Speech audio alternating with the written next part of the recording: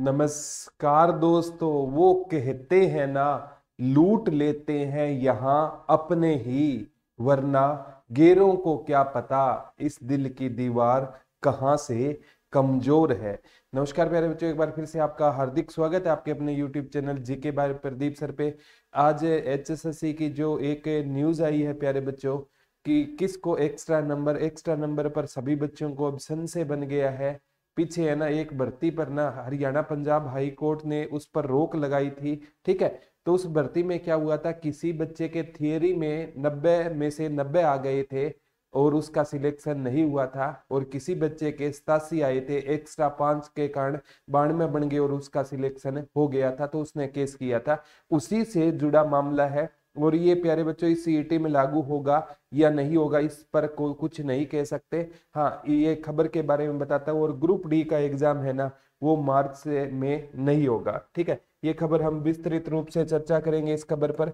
और प्यारे बच्चों, अगर सीईटी का ना आप रिकॉर्डेड बैच लेना चाहते हो तो मात्र चार सौ निन्यानवे रुपए में ले सकते हो।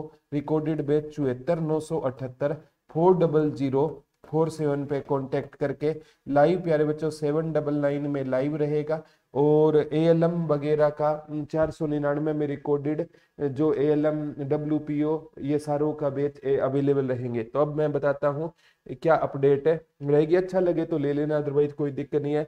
बेरोजगार युवाओं को हो रहा है हरियाणा ग्रुप सी और डी पदों का इंतज़ार। इसमें कोई कहने की ज़रूरत नहीं है। ठीक है। अब क्या है? यहाँ से पढ़ना, प्यारे बच्चों। बेरोजगार युवाओं को हरियाणा कर्मचारी चयन आयोग की तरफ़ से ग्रुप सी और डी के पदों की भर्ती का इंतज़ार हो रहा है।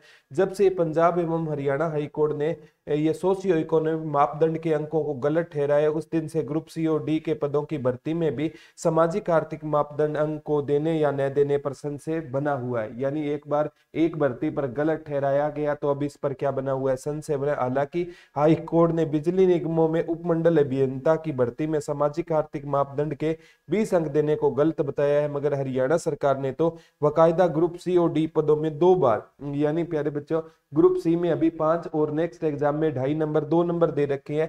पहले सीईटी में पाँच फ़ीसदी अंक मिलते थे, अब बाद में एचएसएससी के स्क्रीनिंग टेस्ट में ढाई फ़ीसदी अंक मिलते हैं।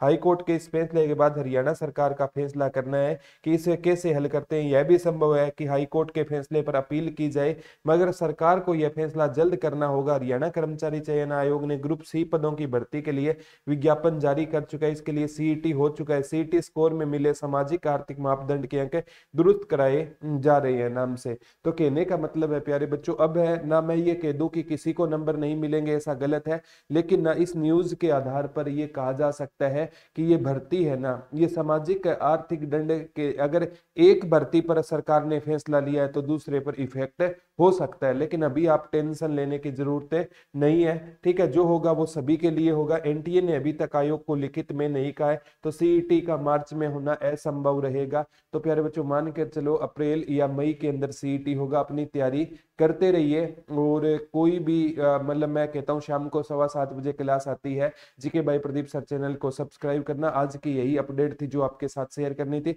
धन्यवाद दोस्तों, जय हिंद, जय भारत, लव यू ऑल।